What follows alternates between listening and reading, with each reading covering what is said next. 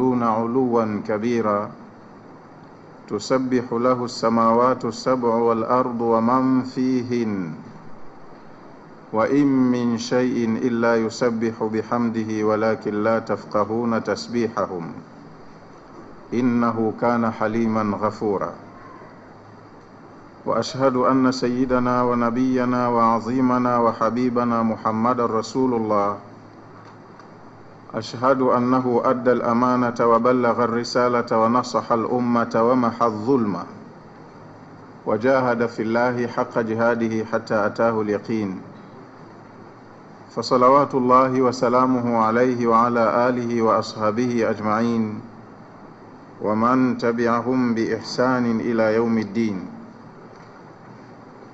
وبعد فإن أحسن الحديث كتاب الله تعالى وخير الهدي هدي محمد صلى الله عليه وسلم وشر الأمور محدثاتها وكل محدثة بدعة وكل بدعة ضلالة وكل ضلالة في النار اللهم إنا نعوذ بك من عذاب النار بسم الله الرحمن الرحيم يا ايها الذين امنوا ان جاءكم فاسق بنبأ فتبينوا ان تصيبوا قوما بجهاله فتصبحوا على ما فعلتم نادمين واعلموا ان فيكم رسول الله لو يطيعكم في كثير من الامر لعنتم ولكن الله حبب اليكم الايمان وزينه في قلوبكم wakaraha ilaikum lkufra walfusuqa walisyan ulaika hum rashidun fadlan min allahi wa nima wallahu alimun hakim tukiendelea katika tafsiri kwenye sura hii ya 49 katika darsa ya mwisho tuliishia kwenye aya yake ya tano aya isemayo enyi mlioamini, akikujieni fasiki na habari, basi kwanza ichunguzeni kabla ya kuichukulia hatua au kuitolea maamuzi. Musije mkawasibu watu mkawadhuru watu kwa maamuzi yaliyofanywa bila ya kujua, alafu matokeo yake mkaja mkawa ni wenye kujuta kwa mlichofanya. Aya inayofuata kwa kusisitiza umuhimu wa kuifanyia habari uchunguzi kabla ya kuichukulia hatua. Allah anasema waalamu anna fikum rasulallah, waalamu anna fikum rasulallah, na kuweni mkijua kwamba miongoni mwenu yupo mjumbe wa Allah.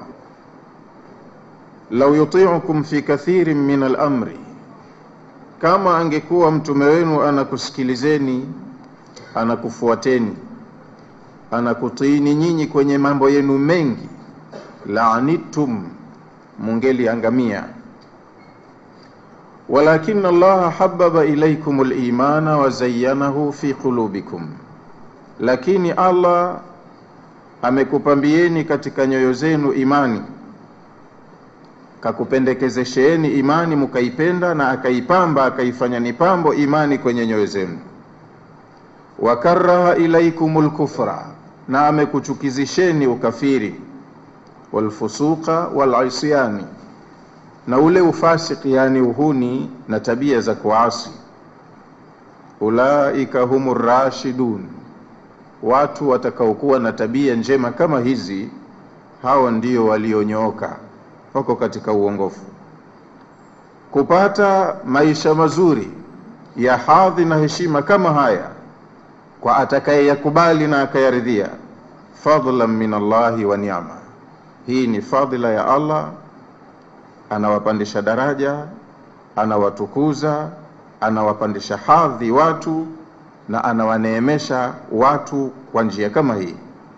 Wallahu alimun hakim na Allah ni mjuzi, anafanya mambo yake si kwa kubahatisha, anayafanya kitaalamu. Tena hakimu ni mwerevu, fundi mzuri wa kuliweka kila jambo mahala pake, anapoamua jambo, anapoweka jambo, anapoamrisha au kukataza, huwa anazingatia hikma, kwa nini kafanya hivyo. Na vyovyote mtakavyofanya kinyume na alivyopanga yeye, basi ni maharibiko tu. Kwa hiyo kwa watu wanaopenda hupanda chati katika hadhi na heshima zao, wakatimiza utu wao, hawana pengine wala mwongozo mwingine ila ni kufuata alivyopanga Mwenyezi Mungu Subhanahu wa Ta'ala. Bismillahir Rahmanir Rahim. Waalamu, na tambueni, anna fikum rasulallah, kwamba mbele yenu au pamoja nanyi yupo mjumbe wa Allah. Mara nyingi huwa tunasema kauli kama hizi kwa watu wa kileo, sisi watu wa zama za mwisho, na halafu tukawa tuna upungufu wa maarifa ya elimu, huwa tunazidharau na kuona kama hazikutuhusu. Labda utaelewa kwamba ah, maneno haya waliambiwa hao waliokuwa na Mtume, sisi hayakutuhusu. Kwa sasa yatakuwa maneno haya outdated, yamepitwa na wakati, hayafanyi kazi kwenye mazingira yetu ya kileo si unaona Mwenyezi Mungu kasema waalamu anna fikum rasulallah, na katika aya zilizopita zinaashiria kwamba mumtii mtume, mumheshimu mtume. Sasa mtume hayupo, yuko wapi? Tutamtiije? Tutamuheshimu vipi? Lakini haya maneno si kama mageni masikioni au akilini mwa watu, ila tu ni kwa mtu aliyekuwa hakukamilika imani na elimu yake haba huo ndo akajitia pambani, akatafuta njia ya mkato ya kwenda kwenye kujiridhisha mwenyewe kuliko kufuata utaratibu, kwa sababu haya haya ambayo watu huyachukulia vigezo vya kutokufuata dini kwamba huyo mtume mwenyewe hayupo, yanatendeka kwenye njia nyingine za batil Wanaadhimishwa watu, wanafuatwa watu, wanasikilizwa watu na kufanyiwa kazi falsafa zao, wakati wenyewe kwa miaka mingi wameondoka duniani watu katika masala ya taaluma wakasema wanafuata principles za Darwin, japo uvumbuzi wa sasa unaendelea kuzikana. Wengine wakasema bado tutaendelea kufuata mawazo, mipango na miongozo ya baba wa taifa wakati hayupo, na wako wengine wana akili kuliko yeye, wanazaliwa. Sasa sisi kwenye itikadi ya dini, kazi, hadhi, heshima ya mtume hii haishi mpaka siku ya Kiyama, bado atiiwe tu. Kuwepo kwake machoni kwa watu waliomuwahi na kuto kuwepo kwake kwa sasa wakati kaondoka ni sawa sawa. Mumtii Mwenyezi Mungu kwa yote aliyoagiza, na ili mumtii Mwenyezi Mungu ni kwa utaratibu aliyouweka huyo mjumbe wake aliyemtuma. Kwa hiyo kuwepo kwake na kutokuwepo ni sawa sawa. Kwa hiyo kauli hii mtu asiwe akaielewa vingine waalamu, tambueni ni nani wanaoambiwa alladhina amanu, kama ilivyoanza Everest speech kwanza kwenye aya ya mwanzo na zilizofuata. Kwa hiyo enyi waumini, tambueni anna fikum rasulallah. Mwenyezi Mungu hakukosea kusema fikum rasulallah, miongoni mwenu pamoja nanyi yupo mjumbe wa Mwenyezi Mungu. Kwa hiyo usiseme kafa sasa haya maneno hayafanyi kazi au ujumbe huu haunihusu elewa tu kwamba miongoni mwenu waumini kwa sifa ile ya imani basi yupo mjumbe wa mungu hayafanikiwi hayakubaliwi mambo yenu yatakapokiuka utaratibu wa huyo mjumbe allah amesema wama arsalna min rasulin illa liyutaa biidhnillah mimi sijatumapo mjumbe yoyote kwamba watu wamfanyie kejeli, wamdharau na wampuuze, ila mtume niliyemteua kumtuma kwa watu nimemtuma kwamba awe anatiiwa, watu wamtii, tena ni kwa idhini ya Mungu, ndo aliyeidhinisha jambo hilo. Kwa hiyo agizo liko hai bado na linakwenda kwa waumini mahala popote walipo na vyovyote watakavyojisikia wakijiona wao wamesoma zaidi kuliko Muhammad, kwa sababu Muhammad alikuwa umiyun sawa. Wakijiona wana mali zaidi kuliko Muhammad, kwa sababu Muhammad alikuwa maskini sawa. Lakini kama wana sifa ya imani, wanalazimika kufuata mafunzo na mwongozo wa mtume wao ili wafanikiwe kwenye hayo yanayotarajiwa kuwa ni mafanikio kwao baadaye. Kwa hiyo tafsiri ya haya maneno waalamu anna fikum rasul llahi ai maana yake waalamu ayuha lmuminun tambueni enyi waumini waalamu ayuha lmuminun tambueni enyi waumini anna bainakum alrasulu alazam kwamba miongoni mwenu yupo mjumbe aliye mkuu kwa hadhi yake na cheo chake wanabiyu lkarim, na yupo huyu nabii mtukufu kwa hadhi yake na cheo chake. Huyu hakuletwa ili ataniwe, wala hakuletwa ajawe kichekesho. Kaletwa kama ni kiongozi wa kutiiwa. Nani waongoke wa, wa, wa, wa kwa mwongozo wake na wamtii? Ni waumini, watu walio na imani ya tauhidi. Kwa hiyo eleweni miongoni mwenu yuko mjumbe huyu mkubwa kabisa na tena ni mtukufu sana, almasumu min simail hawa. Huyu ni mjumbe aliyezuiliwa kwa idhini ya Mwenyezi Mungu kuwa na tabia ya kusikiliza upuuzi. Anachokuambieni sio upuuzi, na anachokukatazeni sio kwamba kwa sababu ya matamanio yake anakuoneeni choyo. Alichokupeni chochote chukueni wama atakum rasulu fakhudhuhu wama nahakum anhu fantahu, atakachokuagizeni mjumbe huyu kitendeni, kichukueni, yani kwa kukifanyia kazi, na atakachokukatazeni komeni, hicho hakifai. Sio mpuuzi huyu, katumwa kwa sababu uteuzi uliofanywa ni uteuzi wa uhakika. Allah hapeleki mahala pa ovyo ujumbe wake ni mambo au maagizo yanayofanana. Hata Nabii Musa alaihi salam alipowaagiza wale watu wake wachinje ng'ombe, wakamwambia Musa, unatufanyia maskhara, tumekuja na jambo ambalo sisi limetukaa, tuko serious, wewe unatufanyia mzaha. Wakamwambia atatakhidhuna huzwa, unatufanyia mzaha. Nabii Musa akajitakasa kwa Mwenyezi Mungu akasema, audhu billahi an akuna min aljahilin hudili na jambo la watu, jambo la umma, tena jambo lenyewe lina uzito wa aina yake, halafu wewe ukaingize maskhara. Hii ni tabia ya watu wajinga. Kwa hiyo mimi sio mjinga, ninajikinga kwa Mola wangu kuwa katika watu wajinga. Ninakwambia ni jambo la uhakika kama mlivyotaka wenyewe. Si mmetaka nimwombe Mola wangu? Mola wangu ndo nimemwomba, kanipa kauli hiyo.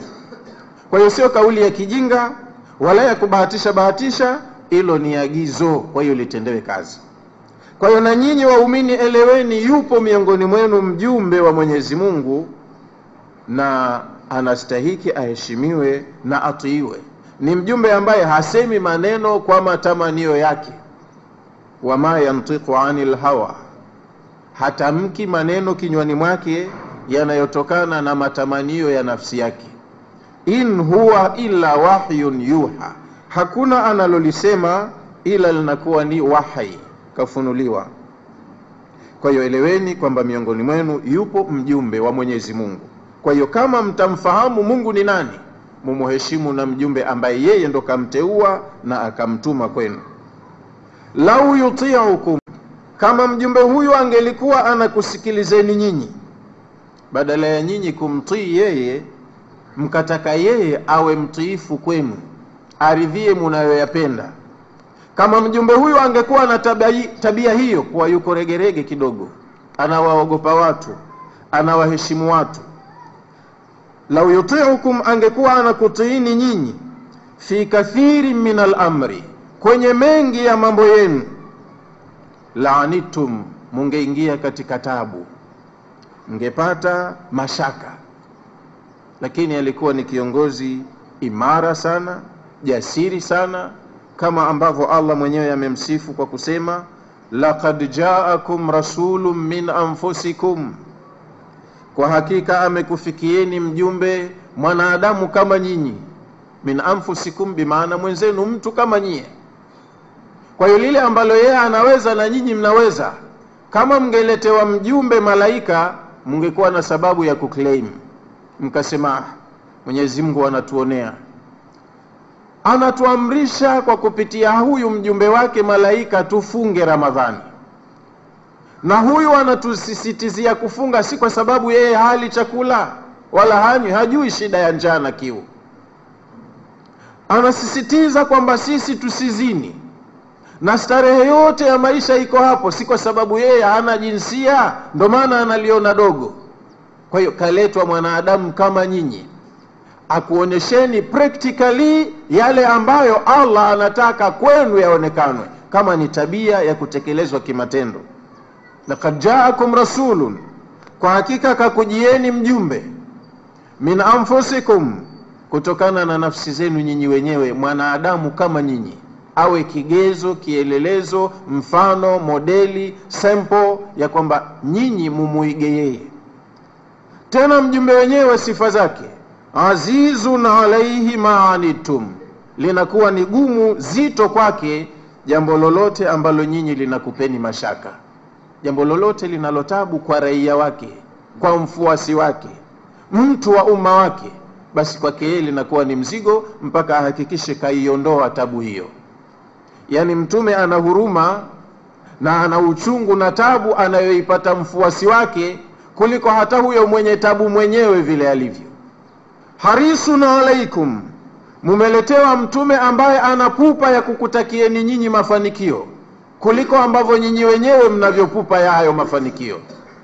Bilmuminina raufu rahim, kwa waumini huyu anakuwa katangulia zaidi kwa upole na huruma, anawaonea huruma wale wafuasi wake hata kuliko hao wafuasi wanavyojionea huruma wenyewe anawapendelea mafanikio wafuasi wake kuliko hata wao wenyewe wanavyojipendelea mafanikio yaani angalia yeye alivyokuwa akaomba msamaha kwa mwenyezi mungu na kapewa ahadi ya uhakika kasamehewa makosa yake yaliyotangulia na yajayo kwamba anawaonyesha watu mfano kwamba salama yao iko hapo na akawahimiza ombeni sana kwa mungu msamaha kithirisheni sana kufanya amali zenye fadhila kwa faida yenu.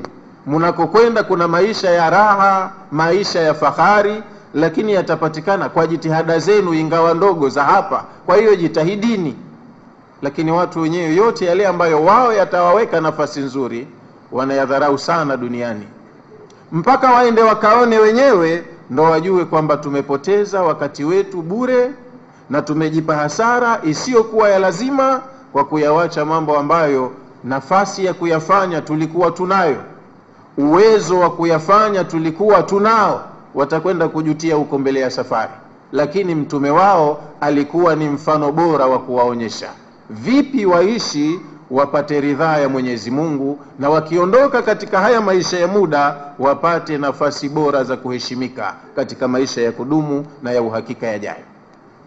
Kwa hiyo kama angelikuwa mjumbe huyu ana tabia ya udhaifu wa nafsi yake, akawa anakusikilizeni nyinyi, anakutiini nyinyi kwa mnayoyataka, laanitum, bila shaka mngeingia katika matatizo. Ai, maana yake lau yasmau, lau kama mtume huyu angekuwa anasikiliza washayatikum, matakwa yenu sisi tunataka hili na sisi tunataka hili na sisi tunataka hili na sisi tunataka hili.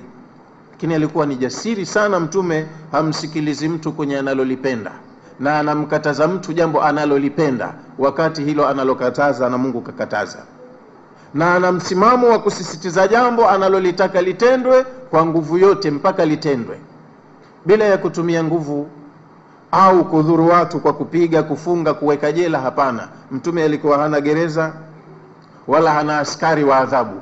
Maneno yake tu atakayokuwa anazungumza na watu yanatosha kuwapa wao hamasa, kwa wale wenye kuhamasika na wale ambao hawakuhamasika wakadharau, hakuwa akatumia nguvu kuwalazimisha. Kwa hiyo, angelikuwa mtume wenu anakusikilizeni kwenye matakwa yenu wayasgha na akawa ana mili mtume wenu biistimaihi liiradatikum kusikiliza yale mnayoyataka nyinyi angekuwa katega sikio anasikiliza munayoyataka nyinyi wayutiukum halafu baada ya kusikiliza akawa anakutiini anakukubalieni fi ghalibi ma tushiruna alaihi kwa mengi katika ambayo nyinyi munaashiria, tunataka hili hili tuachie, hili bora turuhusu, min alumuri, um, katika mambo mbalimbali ya kimaisha. Kuna mifano mingi mno. Mmoja mzuri sana ni kwamba akaja kijana mmoja siku hiyo kwa Mtume sallallahu alaihi wasallam Madina, akamwambia, ewe mjumbe wa Allah, nimekuja kukubai kujiunga katika Uislamu nimekubali itikadi hii, lakini moja tu katika mambo ya dini hii mimi ndo kidogo liko kinyume na mimi, hilo naomba unistahamilie Mtume kwanza akaacha kumshika mkono, sema huyu anakuja kwenye Uislamu, kuna jambo moja la Uislamu hilo hajaliweza bado, hajawa tayari na Uislamu, lakini tayari alikuwa akanyosha mkono kumbai. Akamuuliza, jambo gani katika Uislamu ambalo wewe hujaridhika nalo? Yule kijana akamwambia, zina, ewe mjumbe wa Mungu, nakiri kuwa wewe ni mjumbe wa Mungu kweli, na ninakubali Mungu ni mmoja, najua kuwa kuna maisha baada ya kifo, lakini suala la zina kwangu gumu kuliwacha. Hili naomba uniruhusu kwangu, mimi tu, hiyo iwe special offer, mimi tu uniruhusi, unichukulie kwa hili, siwezi kuacha kuzini. Mtume sallallahu alaihi wasallam kama mwalimu na kama kiongozi mwenye busara na mtu anayependa kufahamisha jambo lifahamike. Akamuuliza, hakumkemea hakumpiga. Wakati wako watu ambao walikereka na tamko lake pale, waliokuwa karibu na Mtume, lakini walikuwa hawawezi kufanya chochote ila kwa idhini ya Mtume. Akamuuliza, hivi unapendelea hii zina kwa mama yako? Akaruka, la, sitaki kuzini kwa mama yangu. Yani si kama wewe umzini lakini mama yako aziniwe, wewe unaridhika? Akasema la, mimi kwa mama yangu watu kuja kuchukua na mimi nikaona sipendi. Je, kwa mwanao? Akasema pia sipendi. Kwa dada yako pia sipendi. Kwa shangazi yako sipendi. Mama yako mdogo sipendi. Akamtajia zile mbea zote ambazo mtu atakuwa kaungana na mwanamke kwa njia moja au nyingine zote kakataa, akasema ah, sipendi mimi kufanyiwa. Mtume basi akaambia, basi yoyote utakayetakana wewe kuzini naye atakuwa mama wa mwenzio, mwana wa mwenzio, dada wa mwenzio, shangazi wa mwenzio, mama mdogo wa mwenzio. Hatoridhika na wewe. Liruhusiwe jambo ambalo wengine watende, wawaudhi wengine, wewe hii ndo unaona maisha ndo ungwana?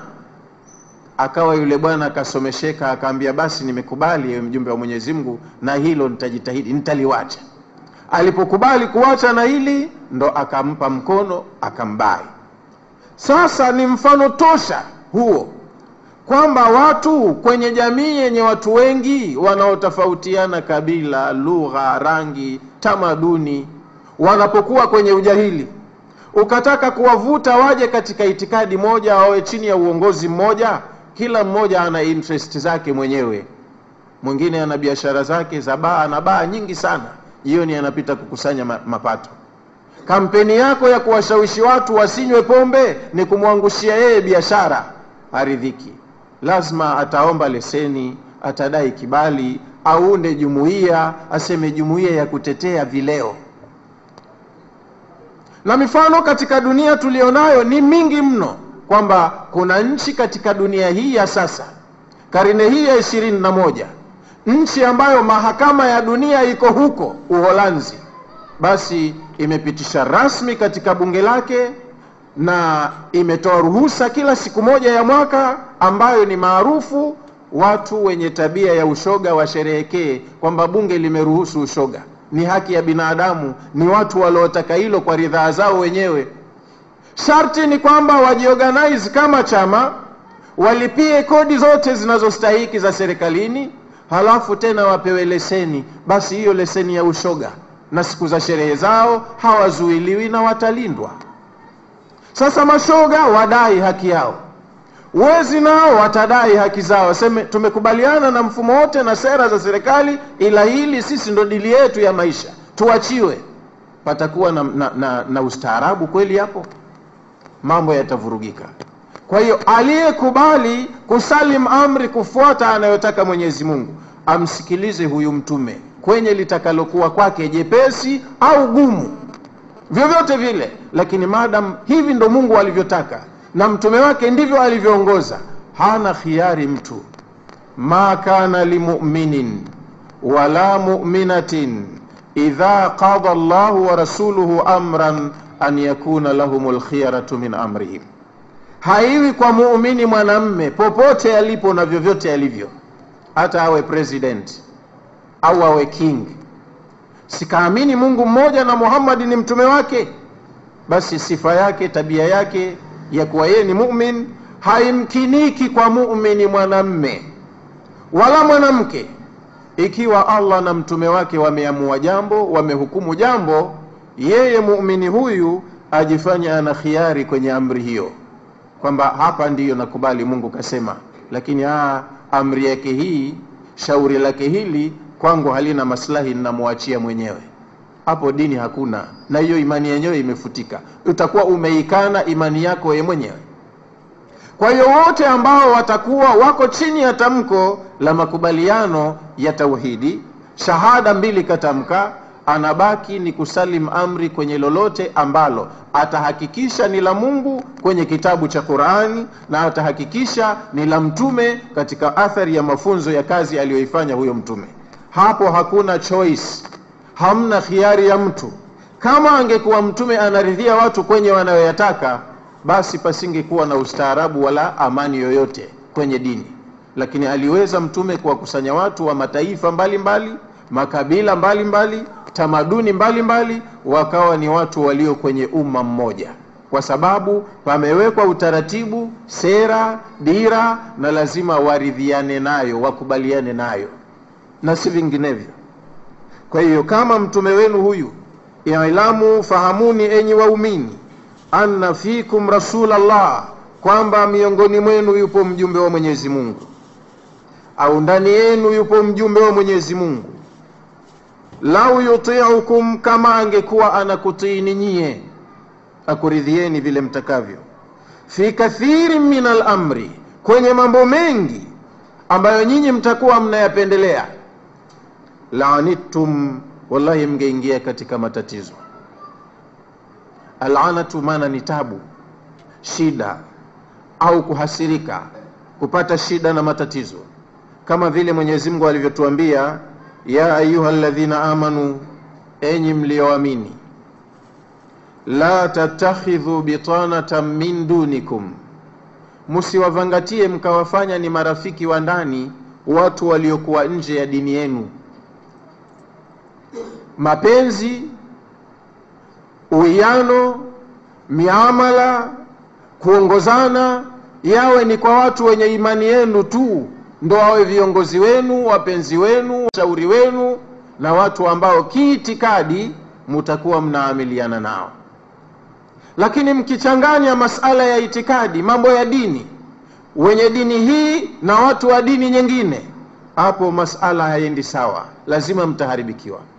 Kwa hiyo mwenyezimngu ili kulinda kuhifadhi taifa la watu waumini akatoa maonyo kama haya, na yako mengi kwenye Qur'ani ya ayuha ladhina amanu, enyi mulioamini Ni maarufu inajulikana ni wafuasi wa Muhammad kwa lugha ya Qurani. Watu wengine wa dini nyingine, Wakristo, Wayahudi wa, wa, wa na wengineo wote wanakuwa wako nje ya imani wenyewe, kwenye dini zao wanayo wanayo hii title, wanaitana waumini, waumini wa Kiyahudi, waumini wa Kikristo, waumini wa Kibuda waumini wa Kihindu. Sasa wewe ukilichukulia walioamini wote ukawajumuisha kuwa wote ni waumini, utakuwa umekosea. Wakiitwa waumini wanakusudiwa ni watu wa Muhammad, kwa sababu Muhammad kazi aliyopewa, kitabu alichopewa kimejumuisha miongozo ya mitume wote aliyowatuma Mungu kuanzia Adamu mpaka yeye.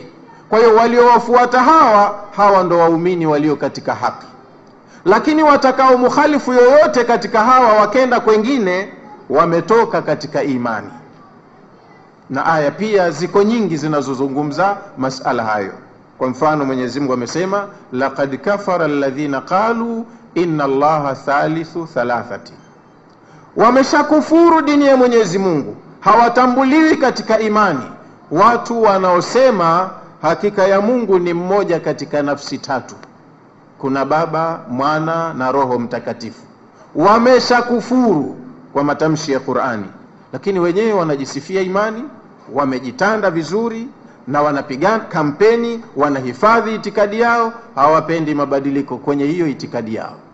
Wanataka wamlazimishe Mungu kama anahitaji matendo mema, na wao wanafanya mema, lakini kwenye itikadi yao. Kama ni imani, na wao wameamini hicho walichotaka wao kuamini, lakini kwa utaratibu wa vitabu vyote vilivyotoka mbinguni na mitume wote waliomtumikia Mungu mmoja wao wamekosea taratibu na wameshabadilisha mwelekeo. Kwa hiyo waumini wameambiwa wanaomfuata Muhammad watasibu kupata mafunzo ya mitume wote. Muhammad anawatambua wote, Isa, Musa, Daudi na waliokuja kabla ya hao wengi tu. Amana rasulu bima unzila ilaihi min rabbihi walmuminun, huyu mjumbe wenu yeye kayaamini yote aliyoteremshiwa kutoka kwa Mola wake na waumini wote kwa ujumla wanayaamini yaliyoteremshwa kwa mjumbe huyu kutoka kwa Mola wake. Kullun, wote kwa ujumla, mtume na waumini. Amana billahi wa malaikatihi wa kutubihi wa rusulihi, kila mmoja katika waumini na mtume wao wanamwamini Mungu mmoja wa kweli, wanaamini malaika kuwa wapo na ndio watendaji wa kazi za ufalme wa Mwenyezi Mungu, wanaamini siku ya malipo na wanaamini mitume waliotumwa. Na alafu wanasema huyo mtume na waumini, la nufariqu baina ahadi min rusulihi, sisi hatuna uwezo wala hatutakuwa na matumani, matamanio ya kumtenga yoyote katika mitume wa kweli waliotumwa na Mwenyezi Mungu. Kwa hiyo kama kuna watu wanajinasibu wao wafuasi wa Musa sisi watatukuta tumetangulia zaidi kumfuata Musa kuliko wao, ikiwa hawajakubaliana na kitabu hichi. Na kuna wanaojinasibu kuwa wanamfuata Isa au Yesu, watatukuta sisi tumetangulia zaidi kumthamini na kumheshimu huyo Yesu kuliko wao wenyewe na yoyote wa wao, kwamba sisi tumeambiwa tuyakubali yote yaliyo katika vitabu halisi vilivyotoka kwa Mungu. Kwa hiyo tunaikubali Taurati na Injili kama ilivyo sio baada ya kufanyiwa ukarabati na watu. Taurati halisi na Injili tunaikubali. La nufariqu baina ahadi min rusulihi, hatumtengi kumgawa, kumbagua yoyote katika mitume aliyotuma Mwenyezi Mungu. Waqalu, na wanasema waumini, sami'na wa ata'na, sisi tutakuwa wasikivu kwa lililotokana na mitume na tutakuwa watiifu kwa lililoagizwa na vitabu sami'na wa atana ghufranaka rabbana wa ilaika almasir tunaomba na kutegemea sana msamaha wako mola wetu na tuna hakika marejeo yetu baada ya hapa tulipo ni kwako hamna pengine hii ndo imani na itikadi safi ambayo walishikamana nayo waumini ambao waliwafuata kweli mitume waliotumwa na mungu sio mitume wa yesu au mitume wa paulo au mitume wa nani maana watu wanajitolea tu na wao mitume itikadi ya imani ya kweli ni kufuata vitabu vilivyotoka mbinguni kwa Mwenyezi Mungu aliyeumba ulimwengu, mbingu na ardhi na vilivyomo, na kufuata mienendo ya hao waliokuja kuvifunza vitabu, mitume aliyowatuma Mwenyezi Mungu, sio mitume walioteuliwa na wanadamu. Hiyo ndo sifa na itikadi. Sasa Allah akatuagiza, hawa wengine wenzenu wamefanya maharibiko na mabadiliko makubwa nyinyi mutahadhari na hawa yasija yakakufikeni ambayo yamewafika wao ya ayuha ladhina amanu enyi mlioamini la tattakhidhu bitanatan min dunikum la yalunakum khabala msiwafanye wa ndani watu waliokuwa nje ya dini yenu hawa hawategemei hawa mema hawapendi mafanikio wadu manitum siku zote watu hawa wa dini nyingine zote kwa ujumla duniani ukiacha hii ya kweli ya uislamu watu wa dini nyingine wadu wadu maana masdari yake ni almawadda mawadda ni mapenzi ya ndani kabisa mapenzi makubwa kabisa sasa watu wa dini nyingine matamanio yao mapenzi yao jambo ambalo liko karibu na nafsi zao wanatamani na wanapenda ma yale mambo ambayo anitum, ah, nyinyi yatakuwa yanakupeni mashaka na kuharibikiwa. Kwa hiyo kila la uharibifu wanatamani likufikeni. Kad badat lbaghdhau min afwahihim, chuki ndogo ndogo zimeanza, mnaweza kuona zinatokeza kwenye midomo wakiongea. Hawanyooshi maneno, ila lazima wakugongeni kwa maneno yanayoonyesha chuki. Qad badatil baghdha'u min afwahihim, zimeanza kutokeza katika vinywa vyao chuki zao. Wama tukhfi suduruhum akbar, lakini eleweni hayo yanayopotea potea yakateleza yakatoka moja moja, hayo machache tu yaliyofichwa ndani ya nyoyo zao makubwa zaidi.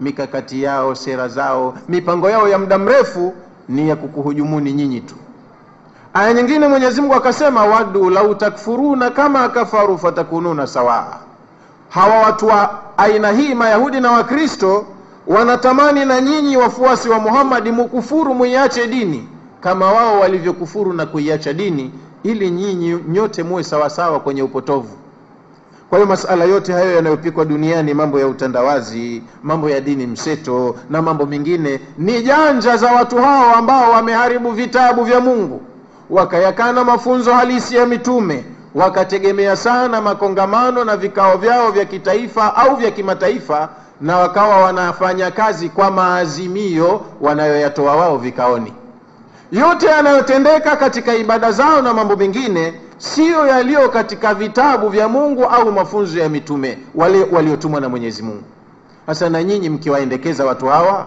mkawapa umbele watu hawa wakawa ndo viongozi wenu wanayoyapanga wao na kutaka yatendewe kazi hayawi katika e, mwenendo wa Mwenyezi Mungu Subhanahu wa Ta'ala. Sasa kama na mtume wenu naye angelikuwa mwepesi akawa anaridhia watu watakavyo, ndio yangelikuja matokeo yake, mwisho wake manitum mambo ambayo hatima yake kwenu nyinyi ingelikuwa ni mashaka. Kama si duniani, basi akhera mngepata mashaka. Sasa duniani watu wanaona dunia ni mahala bora pa kuishi watu wa dini nyingine wameiandaa dunia na mazingira yake ili iwe ni mahala bora pa kuishi. Wao wanachotaka ni starehe tu na anasa ya dunia. Hayo ya huko tena wala hawana habari nayo, wala hawana haja nayo, wakali kwa kung'ang'ania mafanikio ya dunia tu, maisha mazuri, pesa, japo kwa njia zisizofaa. Na ndio maana kila walichoharamishiwa wameukataa uharamu wake, kwa sababu wanaona ndani yake mna fursa za kupatia dunia yao na kila walichohamasishwa katika mambo ya kheri kwenye ibada halisi wamekataa, kwa sababu wameona kwa duniani hawapati maslahi yake. Kama na nyinyi Waislamu waumini mkawa mna, mna, mna, mna, ma, mna maamuzi kama haya, tayari na nyinyi mtapoteza mwelekeo. Kwa hiyo msikilizeni na mumtii mtume wenu. Kama angekuwa anakutiini nyinyi kwa mnayoyataka, basi mngeliishia katika matatizo tu lau yutiukum fi kathirin min al-amri, kama angekuwa anakutiini mtume wenu kwenye mengi katika mambo, laanitum, mngeliishia katika matatizo. Wanawachuoni wa falsafa katika Uislamu wanapitia kauli ile iliyosemwa na salafu salihin, wakasema kwamba alulamau warathatul anbiya ni kauli ya Mtume, inasemekana kwamba wana wachuoni katika dini hawa wanakuwa ndio warithi wa mitume. Wao wanategemewa wafanye zile kazi walizofanya mitume, zile juhudi walizopitisha mitume mpaka wakafanikiwa kuwatoa watu kwenye viza na wakawapeleka kwenye nuru, wana wachuoni wa dini. Lakini wanasema wanawachuoni kimtazamo wamegawanyika katika sehemu tatu kubwa. Wapo wanawachuoni wamesoma sana na wengine wamesoma katika jamia zenye kufahamika kabisa, shahada zao nzuri. Ukitathmini katika Uislamu, walai Uislamu una matajiri wa wasomi wafani zote. Uislamu una wachumi, lakini Waislamu ndo masikini, kwa sababu uchumi kiislamu hauna wasimamizi. Wasomi wa uchumi Waislamu wanatumikia taasisi, nchi na dini nyingine sera zao, taratibu zao zote za kiuchumi, sio za kidini. Kwa hiyo elimu zao haziendi moja kwa moja kuifanyia kazi dini ya Mwenyezi Mungu. Uislamu una watu waliohitimu vizuri mafunzo ya administration, viongozi wazuri kabisa na wanategemewa sana, lakini wanafaa na wanakuwa wazuri wakiongoza kwa taratibu zilizopo, sio za dini hizo hizo za kisakula sakula na nyinginezo nyinginezo na wenyewe hawapendi kujionyesha kuwa wao wana mili kwenye dini maana itawaharibia dini unga wao uislamu una watu wataalamu wazuri wa sharia hiyo hiyo sharia ya uislamu lakini inaambiwa sharia ya uislamu haina pahala ambapo unaweza kuiplai watu wanasoma law hizo hizo zinazoitwa law ili awe lawyer kwa hiyo si fahari kwake yeye kujitahidi sana kusoma sharia Islamic Sharia kwa sababu haina dili, haina kazi. Kwa hiyo hata wakiwepo waliosoma sharia, inakuwa sharia haifai kwa Waislamu, haiwanufaishi Waislamu. Kwa hiyo imesambaratika sambaratika dini, vile vyanzo, vyanzo vyake nyenzo za, zake zimepotea potea, zinanufaisha kwingine. Kama wangelikuwa wako united, wakawa wamoja kama walivyokusanywa na dini, lazima athari ya dini ingepatikanwa wakajiongoza wenyewe, wakaendesha vizuri taratibu zao za uchumi, za uongozi, za kijeshi, za kila kitu, wakaonyesha kwamba sisi tuna mwenendo mbali tofauti na mienendo mingine. Na ndivyo Mtume alivyofanya sallallahu alaihi wasallam. Kaanza peke yake kampeni ya kulingania dini. Waliomkubali walimkubali kwamba waende kwa mwenendo anaoutaka, kama hivi aya zilivyokuwa zinaagiza, mtume wenu huyo mumtii na kama angekuwa yeye ana tabia ya kukusikilizeni nyinyi kukuendekezeni kwenye mnayoyataka mungeangamia kama sasa hivi tulivyoangamia uislamu upo unaambiwa una wafuasi wengi kwa tanzania nzima tuseme ni asilimia sabini na tano tunavyoambiwa waislamu lakini wapi asilimia sabini na tano ya waislamu wakati athari ya uislamu haionekani Wako wapi wasimamiaji wa kuangalia, kutunza na kuhakikisha kwamba vile vipawa vya Uislamu walivyo navyo Waislamu baadhi yetu vinawafaa wenyewe Waislamu? Maana chochote utakachokuwa nacho katika neema aliyokupa Allah, hicho sio chako peke yako. Faida yake lazima iende katika mujtama. Kama weye ni msomi, weye uliyepewa elimu, Allah anakudai kakupa weye ili na weye hiyo elimu yako iwe na maslahi kwa umma wa waja wake kama kakupa mali wewe ndo unajiona umepewa mali unasema yako lakini bado kwa allah una deni anakudai kakupa wewe kawagiza namna gani hicho alichokupa maslahi yake yaende katika umma mkubwa wa waja wake na mengi mengineyo yako hivyo kwa hiyo tuna haki ya kudai na tuna haki ya kuhamasishana lazima tukimbilie katika kupata common leadership twende katika utaratibu mmoja tufanye ambayo Mungu kataka na mtume wake katuelekeza. Hiyo ndo dini inayotakiwa, ad lqayima qayyima Wama umiru, watu hawajaamrishwa jambo jipya ila liabudu llaha ila watu wameamrishwa wamtumikie Mungu. Kwa hiyo hiyo social service lazima iwe katika utaratibu aliyotaka muumbaji, ndo mtakuwa mna dini. Mambo yote taratibu zenu zote zifuate dini imetaka nini wama umiru, hawajaamrishwa watu jambo jipya zito gumu, kama kweli waumini wameamrishwa liyabudu llaha, wamtumikie Allah. Tena kumtumikia kwenyewe kuna masharti. Wanawako wengi watu wanaitwa watumishi wa Mungu, hamjasikia? Watumishi wa Mungu, lakini wanayoyafanya wala huyo Mungu hana habari nayo wala hajasema kuwa atakwenda kuwalipa kwa kumtumikia sana.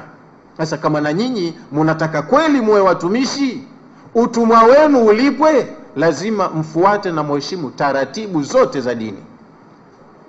Liabudu llaha, wamtumikie Mwenyezi Mungu, mukhlisina lahu dina, wamtakasie yeye mwenendo wao mzima wa maisha, waishi kwa ajili ya kutaka ridhaa ya Mungu, wanayoyafanya yawe Mungu kakubaliana nayo wapi utajua kuwa akakubaliana na wewe?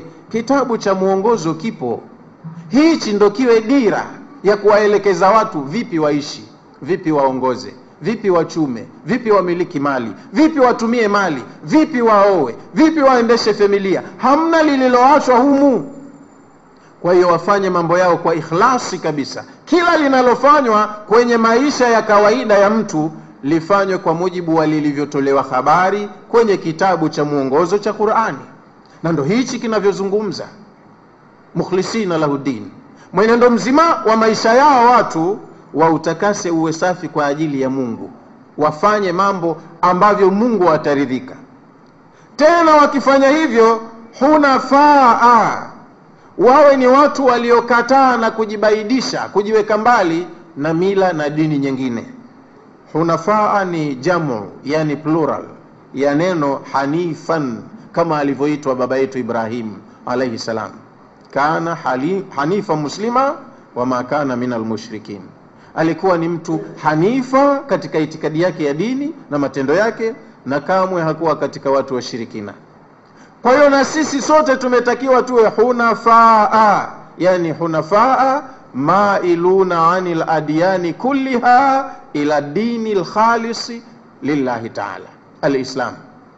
Tukatae mila, mienendo, dasturi, dini nyingine zote zilizopo duniani, tutosheke na dini moja tu safi, ambayo hii ndo dini ya Mungu ya Uislamu, tabia ya mja mwenyewe kukiri kuwa mimi nimeumbwa na akajisalimisha kwa muumbaji wake, ndo Uislamu kwa hiyo hicho ndo mwenyezi mungu anachokitaka ukishafanya haya matatu liyabudu llaha mukhlisina lahu din hunafaa wayuqimu salata wayutu zakata wameamrishwa wasimamishe sala watoe na zaka moja ni haki ya mwenyezi mungu iko juu ya shingo zetu tumwabudu bila ya kumshirikisha na njia moja fupi ya mawasiliano baina yetu na yeye ni hiyo ya sala kwa hiyo wameamrishwa watu wote wenye imani liyuqimu salata, wasimamishe sala, wadumishe sala zao kwa sharti zilizopendekezwa, waonyeshe mawasiliano yao, muungano wao baina yao na mola wao.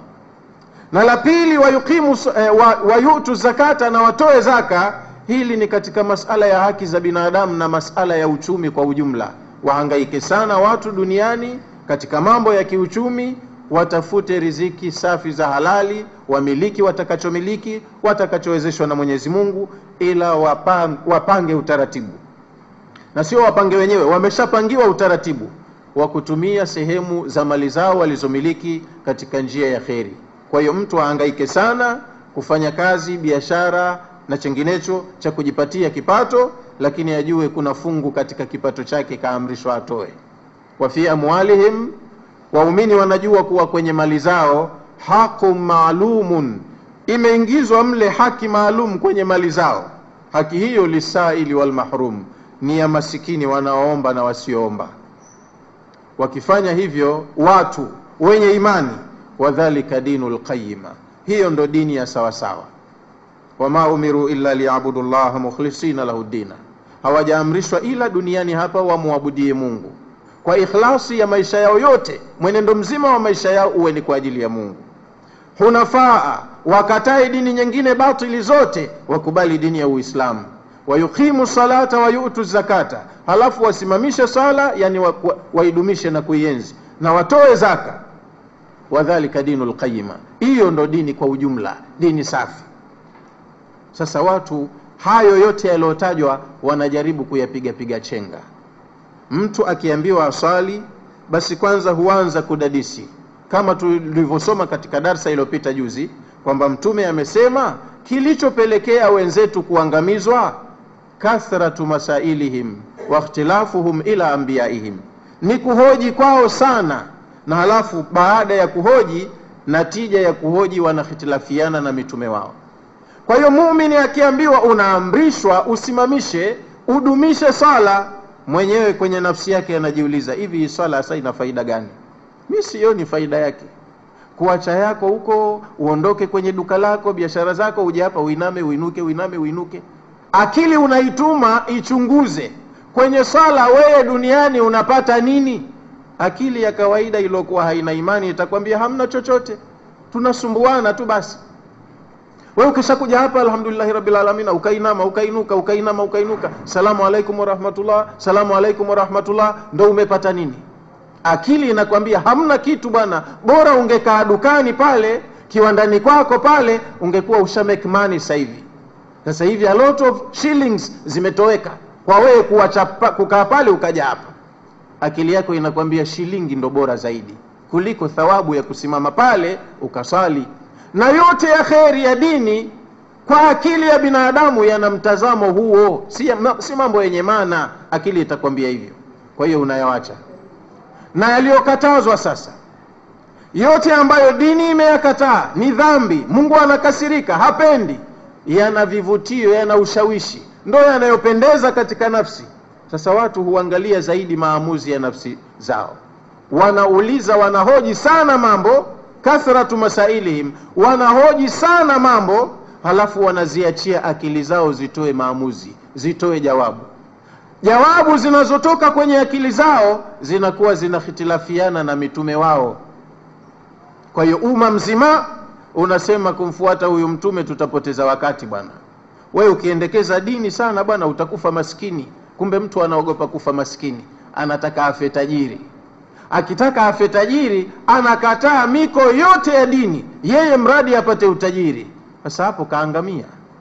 Sasa mtume wenu, kwa sababu alikuwa anajua ya mbele, kama ambavyo Mtume Muhammad alisema, lau alimtum ma alamu, kama na nyinyi mungelikuwa munayajua ninayoyajua mimi, la dhahaktum qalilan wala bakaitum kathira, wallahi mungelikuwa na muda kidogo wa kucheka muda mwingi sana mngekuwa mnalia kama mtu angelikuwa kwa hapa tulipo maisha haya tuliyonayo ana uhakika wa nini kinafuata baadaye baada yeye kuondoka hapa asingekuwa na muda wa kuenjoy kustarehe na kucheka lakini kwa sababu hajui yeye kafungua macho kaona dunia tu inapendeza ina vivutio vingi basi yeye anaenda kwenye ambayo yanaridhisha katika nafsi yake na yote ya haki ya thawabu ya maisha mazuri ya akhira anasema haya sina uhakika nayo nadhani ni uongo mtupu anayewachilia mbali sasa mtume yeye alikuwa anayaona anayajua yanayokuja baadaye na alijitahidi kuwalinda kuwahifadhi kuwaelekeza kuwasimamia waumini waende kwenye mambo yenye maslahi ya akhira zaidi kuliko mambo ya maslahi ya dunia hii kwa hiyo mtume hakuja hapa kukuza sera za biashara wala teknolojia ya viwanda na nini, wakati elimu za kutosha alikuwa anazo za hayo. Alikuwa anajenga watu kwanza kuangalia mafanikio ya akhira zaidi kuliko mafanikio ya dunia hii batil, ambayo mara moja inaondoka. Utaondoka wewe uiwache uende vibaya, au mwisho wake hao watakaobakia nao pia wataondoka waiache, au itaondoka iwawache, mradi dunia ni kitu cha bandia feki kina muda mfupi kitatoweka sasa yako ya kudumu ndo hayo mliambiwa mu mnajitihada ya kuyatafuta waalamu eleweni enyi waumini anna fikum rasulallah kwamba miongoni mwenu mbele yenu au ndani yenu yupo mjumbe wa mwenyezi mungu mumuheshimu huyu mumsikilize na mumtii lau yutiukum lau yeye angekuwa anakutiini nyinyi fi kathirin min alamri kwenye mengi ya mambo yenu laanitum wallahi mngeliharibikiwa mngeishia katika mambo ya maafa qala ibnu kathiri amesema ibnu kathiri baada ya maelezo haya ya kwamba lau kama angekuwa mtume wenu anakutiini kwenye mnayoyataka laanitum bimaana lawakatum fi ljuhdi walhalaki au fi ljahdi walhalaki kama yeye angelikuwa anakutiini nyinyi, basi mngelitokezea katika kuharibikiwa na kuangamia.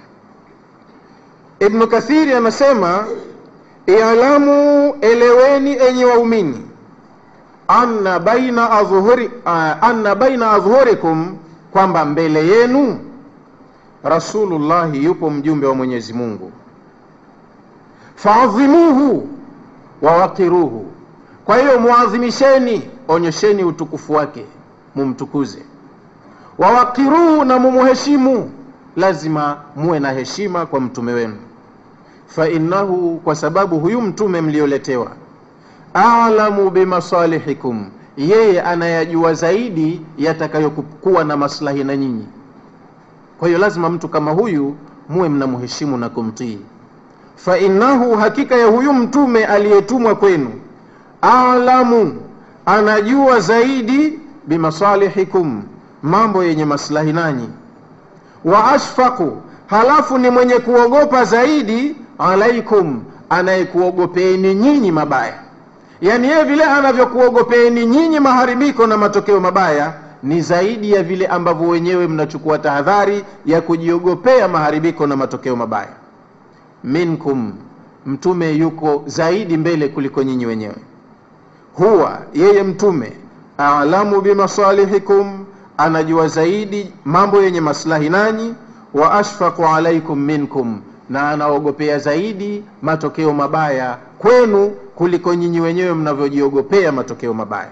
Sasa kiongozi kama huyu anayekupendeleeni kheri ana jitihada kubwa kwenu, kapoteza mengi kwa ajili ya kukushughulikieni. Mtume huyu alikuwa maskini, lakini alikuwa hathamini utajiri.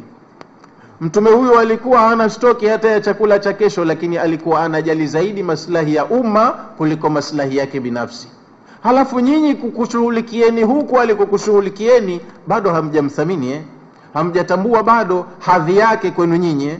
Kwa hiyo eleweni kwamba miongoni mwenu au ndani yenu yupo mjumbe wa Mwenyezi Mungu na hii ni sawa sawa kwa waliomuwahi na sisi ambao hatujamuwahi bado tunaye mjumbe wa mwenyezi mungu katika suratu annajmi aya yake ya 31 na aya ya 32 mwenyezi mungu subhanahu wa taala amesema walillahi ma fi lsamawati wa ma fi lardi liyajzia alladhina asau bima amiluu ويجزي الذين احسنوا بالحسنى الذين يجتنبون كبائر الاثم والفواحش الا اللمم ان ربك واسع المغفره هو اعلم بكم اذ انشاكم من الارض واذ انتم اجنه في بطون امهاتكم فلا تزكوا انفسكم هو اعلم بمن اتقى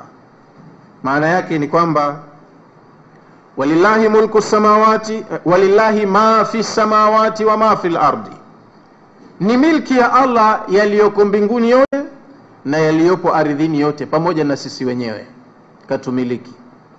Kamiliki vitu hivyo khalqan wa mulka, kavimiliki kwa kuviumba, sio kwamba kavikuta tu kwa mwenyewe akampiga akateka nyara au ka, kapindua akamiliki yeye au kanunua akauziwa yeye. La, kamiliki Mwenyezi Mungu mbingu na vilivyoko mbinguni, kamiliki ardhi hii na vilivyopo ardhini vyote, tunavyovielewa na tusivyovielewa, kavimiliki kwa kuwa kaviumba yeye, ni mali yake kwa kuviumba na halafu kavimiliki kwamba ndiye mwenye mamlaka ya usimamizi na uendeshaji wa ulimwengu mzima mbinguni na ardhini. Yeye ndo anayekontrol kila kitu, halafu bado hamumthamini. Eh?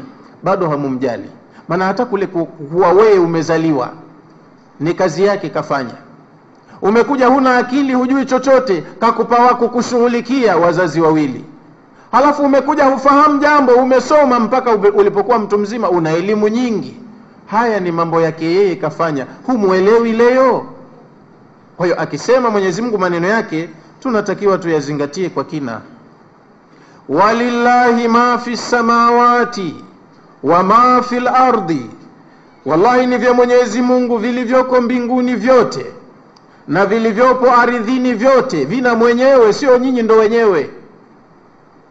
Kaweka aliyoyaweka akakuwekeni na nyinyi, akatoa maagizo aliyotaka nyinyi kuwamfanya anavyopenda. Sasa wako watakaokubali na wako watakaokataa, wako watakaofanya vyema na wako watakaoharibu yatatendeka haya yanayotendeka, na nyinyi ndo watendaji. liyajzia alladhina asau bima amilu wa yajzia alladhina ahsanu bilhusna, ikifika ile siku aliyoahidi kwamba mtarejea, atahukumu, atahisabu na atalipa. Liyajzia, siku hiyo ndo Mwenyezi Mungu aliyotenga fursa ya kuja kulipa alladhina asau wale waliofanya vibaya kwenye maisha yao ya mtihani ya duniani wakafanya wapendavyo wenyewe, kwa Mungu wakaharibu. Alladhina asau bima amilu, walioharibu kazi yao, utumishi wao, atawalipa kwa mujibu wao walivyotenda. Kama umetenda mabaya, utalipwa mabaya, huna kizuri cha kulipwa. Wayajzi alladhina ahsanu na atawalipa siku hiyo wale waliotenda vizuri bilhusna, kwa mujibu wa wema wao waliofanya. Hakuna dhulma siku hiyo, haongezewi mtu wala hapunguziwi, ila nyongeza ambayo mwenyewe kaiteua kama ni ofa, kasema atakayetenda jema moja nnalipa kuanzia kumi mfano wake. Hii ndo uzuri wa kukatibiana mambo au kutoa notisi ya mambo mapema aliposema ataongeza akasema mapema lakini anachokataa ni kwamba haendi kufanya dhulma hamdhulumu mtu hutopunguziwa kwenye mama yako mengine yakawa yamepotea kisa yamedharauliwa hati madogo au huongezewi katika mabaya yako kwa sababu umechukiwa kwa nini kaniudhi sana basi muongezee makosa hapana mwenyezi mungu asema hadhulumu mtu siku hiyo wa in taku mithqala habatin min khardalin ataina biha wakafa bina hasibin, atakapokuja mtu siku ya hisabu na malipo, zinajumuishwa amali zake alizotenda alipokuwa yuhai duniani, na hata kama alitenda amali inayo uzito wa punje ya khardali, basi kwenye hisabu tutaileta siku hiyo, haipotei na sisi twatosha kuwa ni wahasibu wazuri yani habatu min khardalin ni punje ndogo ambayo kwa udogo wake haimkiniki tena kuigawa mara mbili zaidi kama wewe una uwezo wa kielimu labda elimu yako inakupelekea kujua labda umesoma chemistry ukajua kuna vitu vinaitwa atom na nini the smallest particle of an element which cannot be split up by any known chemical reaction basi hiyo mwenyezi mungu pia anaijua punje ndogo ya mwisho ambayo kwa udogo wake haitawezekana tena kugawiwa kwa njia yoyote ya kikemikali basi mungu hiyo pia anaijua hiyo punje ndogo ya mwisho anasema katika kitabu chake kitukufu kama umetenda duniani amali ambayo uzito wake ni kama hiyo punje ndogo isiyogawika haipotezi pia itakuwepo kwenye kumbukumbu kumbu kwamba yeye ni hakimu mwadilifu na tena sio dhalimu anamlipa mtu kwa mujibu wa anavyostahiki kwa mujibu wa alichofanya kizuri chake na kibaya chake kitakuwepo hadhulumiwi kwa kupunguziwa mazuri hadhulumiwi kwa kuongeze, kuongezewa mabaya ila rikodi ya kila chake ipo na atapewa kwa maandishi nadhani tuko pamoja mwanadamu akiwa mumin au akaikana imani yake akawa kafiri, rekodi ya matendo yake kwa muda wote atakaoishi duniani ipo, alichokifanya kimehifadhiwa, na siku ya kuja kuonana na Mola wake anapewa rekodi hii kwa maandishi, kitabu kilichoandikwa.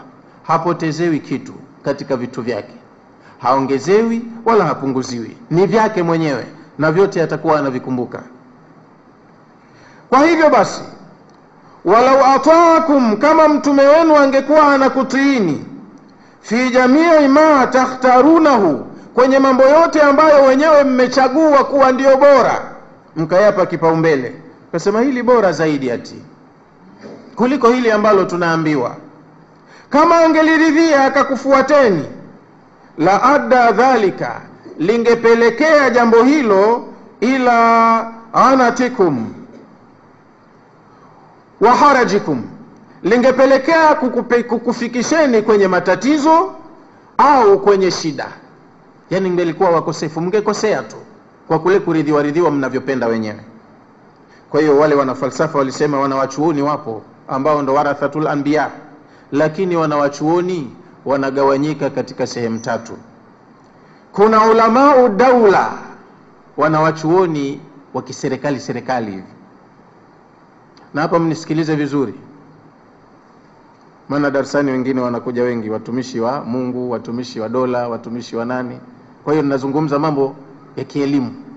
Kuna ulamau daula, wanawachuoni wa dola, wanawachuoni wa kiserikali serikali, na kuna ulamau umma, kuna wanawachuoni wa umma, watu wa umma, watumishi wa umma, na kuna ulamau milla wanawachuoni wa mila hapo huwezi kuona ndani kwa urahisi kwa juu juu tu kwa sababu ukisema kuna ulamau daula si jambo baya mwana wachuoni kuwa katika dola lakini mtume sallallahu alaihi wasallam amesema mwana wa chuoni mwenye kuuendea mlango wa mfalme yani mtawala tena mtawala mwenyewe sio mtawala wa dini mtawala akamnyenyekea kwa sababu ya madaraka yake kapoteza nusu nzima ya imani yake kama imani yake iko 100% akamtii mfalme au mtawala ambaye hatawali kidini hafanyi ya mungu hamfuati mtume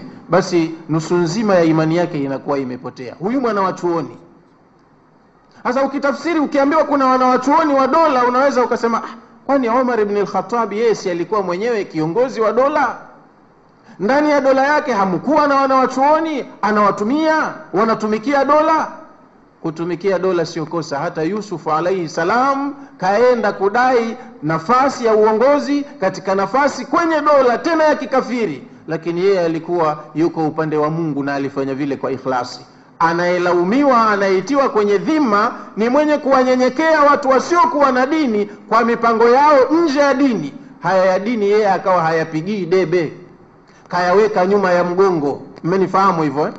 Kwa hiyo kuna ulamau daula wanawachuoni wanaomili kuzinyenyekea, imetiwa mfukoni, hawalitetei lile alilotaka Mungu litetewe, na wala hawaudhiki kwa lile linaloharibu analolitaka Mungu. Wao wako bega kwa bega na hizo dola kuzitumikia, bado wanasema, wanawahesabu, wanawaita hawa ni ulil amri, hata kama wanakunywa pombe.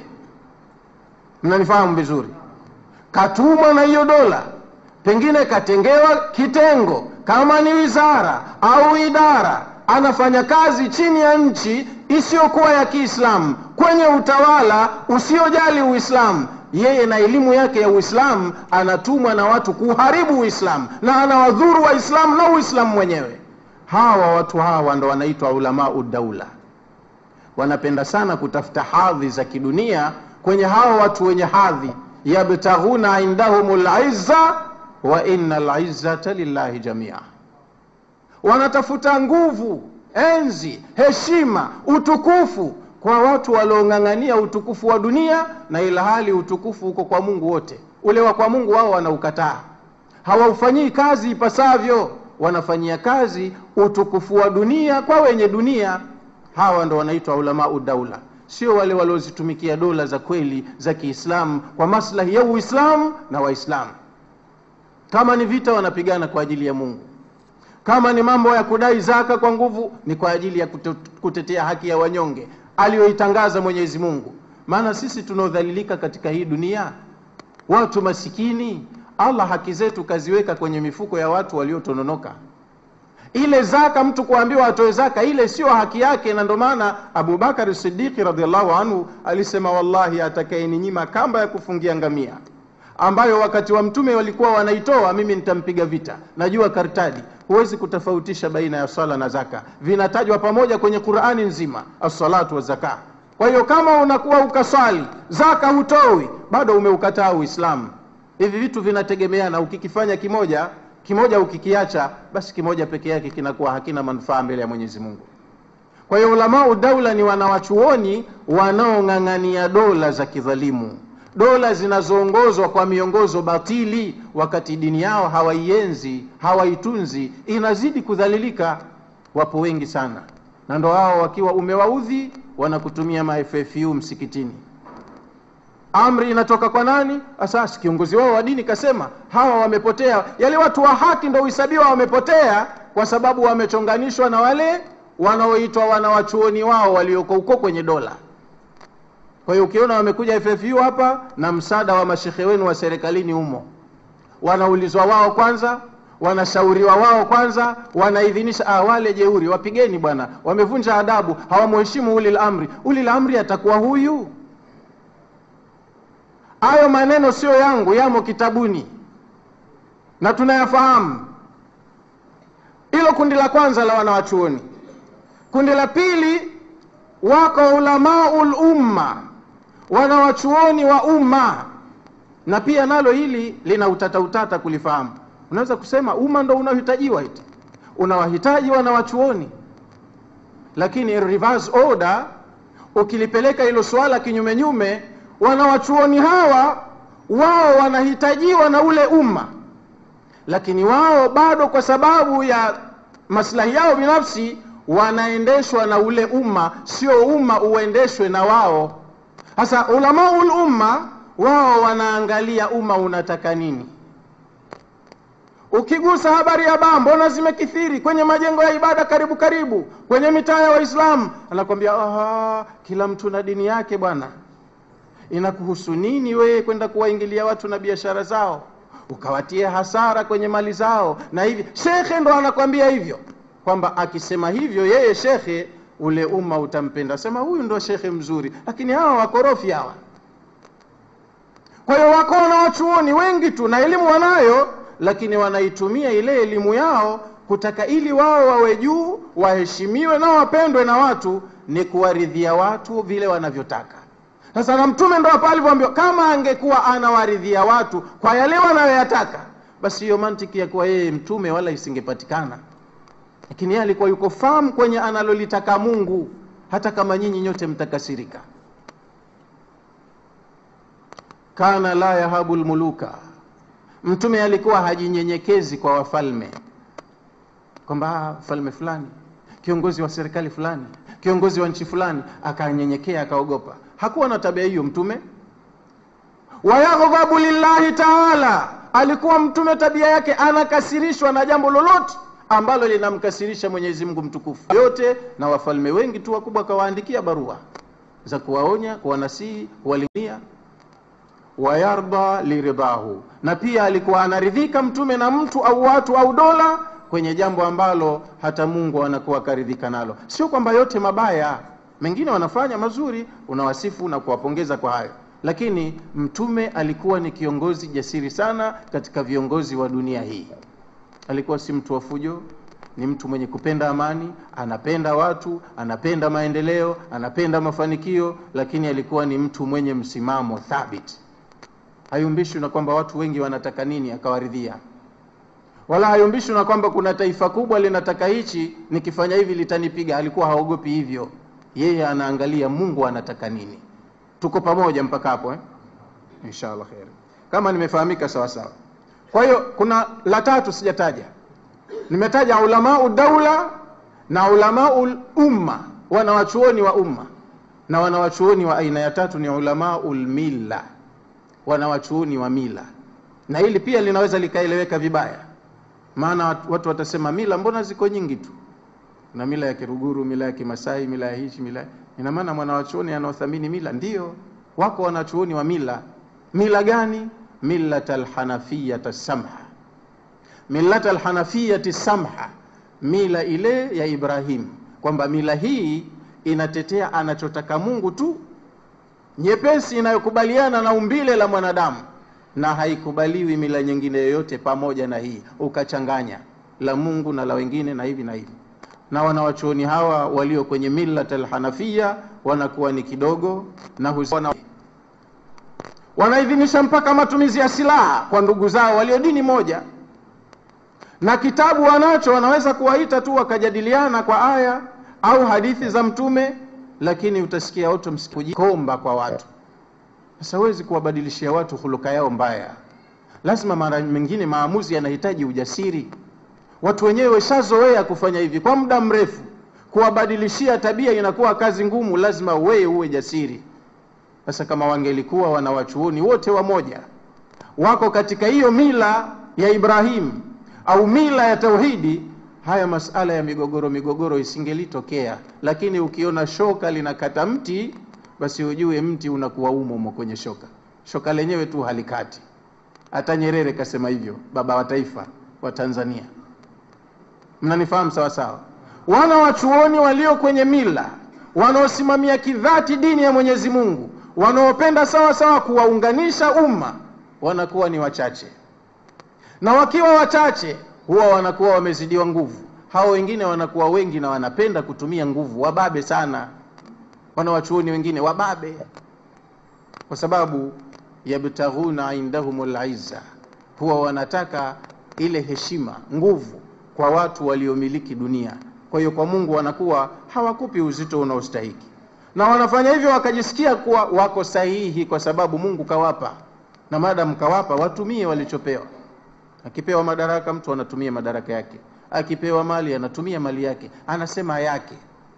Sasa Mtume hakuwa na tabia hizo zote, ila alikuwa na hii tabia ya kuwa yeye alikuwa ni kiongozi wa mila, alitaka kuwabadilisha watu itikadi yao awatoe kwenye viza vya aina mbalimbali na awapeleke kwenye nuru waalamu anna fikum rasulallah eleweni enyi waumini kwamba ndani yenu yumo mjumbe wa mwenyezi mungu lau yutiukum fi kathirin min alamri lau angelikuwa mtume wenu anakutiini kwenye mengi ya mambo yenu laanittum mungeishia katika idhilali na kuharibikiwa walakin Allaha hababa ilaikum limana lakini Mwenyezi Mungu kwa ihsani yake na fadhila yake amekupendezesheni imani.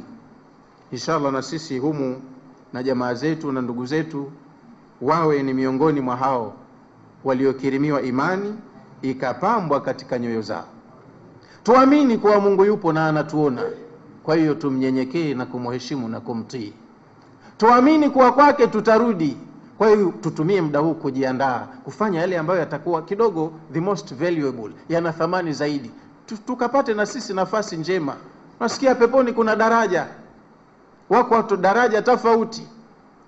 Hapa duniani unapanda meli, mimi nimetoka Zanzibar, ukiingia melini, meli hiyo hiyo moja ina nauli tofauti, kwa sababu kuna makazi, kuna nafasi tofauti mle melini. Sasa mimi kwa hali yangu nitakaa deki tu eh? Lakini mwingine hawezi ile usumbufu, anakata tiketi ya first class, ndiyo eh?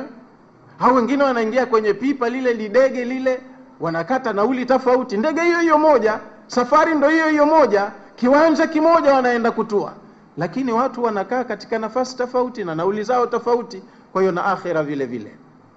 Sasa Mtume sallallahu alaihi wasallam amesema, idha saaltumullaha aljanna mnapokuwa mnamwomba pepo Mwenyezi Mungu, fasaluhu lfirdausa, muombeni pepo ya Firdausi, fa innaha ala darajati ljanna, kwa sababu Firdausi ndiyo daraja ya juu ya peponi, first class.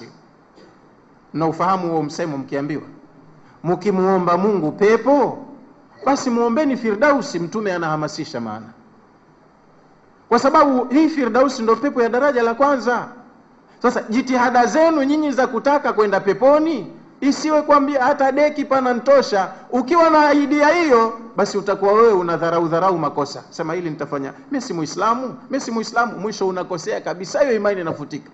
Kuwa na jitihada ya kutaka uwe katika kiwango kizuri cha watu wa daraja la kwanza tena ikishindikana kwa, kwa mazingira fulani fulani, angalau basi ya daraja la pili la tatu uambulie. Unafahamu vizuri eh? ndo Mtume alivyokuwa anafundisha watu, anawahamasisha watafute wakiwa wako duniani nafasi bora zaidi ya peponi wakati hawajafika, na watu walijitahidi kufanya hivyo. Walakin llaha hababa ilaikum liman, lakini Mwenyezi Mungu amependekezesha kwenu nyinyi iman. Ai walakinahu taala, lakini yeye Mwenyezi Mungu mtukufu, yeye mwenyewe Mwenyezi Mungu mtukufu bimannihi wa fadlihi, kwa neema zake na fadhila zake mwenyewe. Nawara basairakum, ameyapa nuru macho yenu, au ameunawirisha uoni wenu. Nyinyi waumini muna uoni mkubwa zaidi kuliko watu waliokosa imani. Maana wengine mpaka hivi sasa wambia we bwana awe ndani yako tu utarithi ufalme wa mbinguni. Sasa uko bwana kuwa ndani yako ndo vipi? We muamini bwana tu bwana awe ndani yako tu tena hamna chochote kinachojulikana hapo bwana akiwa ndani yake anasema tayari kaokoka makosa yake akikosea wapi akaombe msamaha akaungame kwa kiongozi wake na mwenyewe ana magunia ya hayo makosa basi akiwekewa mkono wa baraka umesamehewa kwa jina la bwana anaridhika anaondoka msafi mwepesi huu tena huu te, sijui ndo kiwango gani cha utu lakini nyinyi waumini sio hivyo allah kakupeni nuru ya uoni mnayapima mambo kwa kiwango chake ndivyo sivyo sasa mwingine anaburuzwa tu maskini na pale ndo kashiba imani yake imempeleka kuona kafika na vinginevyo zaidi ya vile hakubali kasukwa kasukika barabara yeye ni mtumishi wa bwana anasubiri pale afe arithi tu ufalme wa mbinguni unarithiwa kwani warithi wenyewe hawapo kwa hiyo imani ni kitu mali mno, na mwenye kuwa nacho anahitaji kukitunza, maana imani ni kitu cha kuongezeka na kupungua, na kitu chochote kinacho tabia ya kuongezeka na kupungua, kupotea moja kwa moja inawezekana. Wengine wanaanza vizuri maisha yao ya kwanza, alafu Mungu akiwapa mtihani wa dunia wanapoteza ule uzuri wao wa kwanza, wanamalizikia vibaya. Allah atulinde na hilo maana wengine wanakuwa ni hao maalim tunaowasema wanawachuoni, lakini akionekana huyu, mbona ana mdomo mdomo sana huyu, mbona anatuharibia watu? Maana ukiwapeleka watu kwenye dini, kwenye dunia unaharibu watu wa dunia, unawaharibia raia wao, wananchi wao.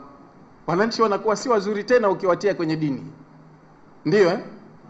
sisi ni wananchi wa watu wenyewe, wako juu wanapanga mambo ya maendeleo kwa ajili yetu wanavyosema sasa tukishiba sana dini, kwao tunakuwa tumeharibika. Sera za vyama haziendi sawasawa, dini haikubaliani nazo. Mipango ya taifa inakuwa tunaikosoa, tunailaumu, kwa hiyo tunakuwa wakorofi. Sasa ili tusio wakorofi, elimu hizi hizi zidhibitiwe, hizi za dini dini na ni dini moja tu ndo inayokera, hizo nyingine watu wake si ndo unawaona wanasubiri kurithi tu hazina matatizo lakini dini ya kweli ya mtu anayemjua mungu ina matatizo kwa watu wa dunia ndio maana inadhibitiwa sana na wenyewe wanakuwa wakali kwa hii dini hasa mwenye kupata hiyo imani japo ndogo ajitahidi kuitunza imani yake akaja akaipoteza hiyo kurudi inakuwa shida sana unaweza kuchukua kwani shida yako nini bwana ukapewa gari la milioni 85 hujapata hapo kuliona halafu ukapewa na nyumba nzuri, ukaambia bwana, kazi zako wewe zitakuwa hapa, we tunakujua ni shekhe, mtu wa dini, lakini bwana, tunaona hizi dini zinaleta mizozo mara nyingi. Wakristo na Waislamu mara wanazozana, mara hawaelewani. Mzozo umetokea wapi? Sasa tunakutakeni mashekhe na mapadri mufanye kamati ya pamoja ya dini mseto na mitaala ya masomo mashuleni, wakati wizara ya elimu wameimiliki wao kuendesha hiyo mitaala, wana direkti wao kila kitu wameshika na nyinyi sasa mashehe mkiwekwa pale hamna sauti mnawafanyia wao kazi kuwapotosha hata hao watoto wenu wasukwe wapikwe wasubiri na wao kurisi ufalme wa mbinguni mnanipata sawa sawa sasa imani ni jambo la ghali allah kawatoa watu kwenye ujinga hao waliomkubali muhammad maana muhammad kaanza muislamu peke yake kuwatoa watu kwenye ule ujinga wao wa kuabudu masanamu itikadi na mila za wazazi wao waliokuwa wanazithamini sana, ilikuwa ni kazi iliyomgharimu sana Mtume sallallahu alaihi wasallam, lakini alipowapata alijaribu kuwasuka na yeye akawapika, akawapa itikadi sahihi. Walipoelewa nuru ya imani ilipoingia katika nyoyo zao, basi walikuwa ni watu wa kupigiwa mfano, tabia zao zikapendeza. Maana Uislamu ulipoanza kushika nafasi yake Watu wa mataifa mengine walikuwa hawahitaji kupigwa kampeni, wanaathirika kwa tabia njema tu na mazuri ya Uislamu. Maana kuna wengine wanaishi kwenye nchi zilizoendelea kama Roma, lakini walipokuja kutembelea Madina wakaona jinsi watu wanavyotendewa haki na uadilifu, basi wakasema hii ndo dini ya haki. Wamekuja watu ujumbe kutoka Rome, Italy, kuja kuzuru eh, ofisi ya Omar bin al-Khattabi wakati wa Omar bin al-Khattabi, wakamuulizia tuna shida ya Omar bin al-Khattabi, kiongozi wa waumini, na wakati huo hakukuwa na mambo ya television kama wanamjua kwa kupitia picha, hakukuwa na mambo ya magazeti kama wataona sura yake.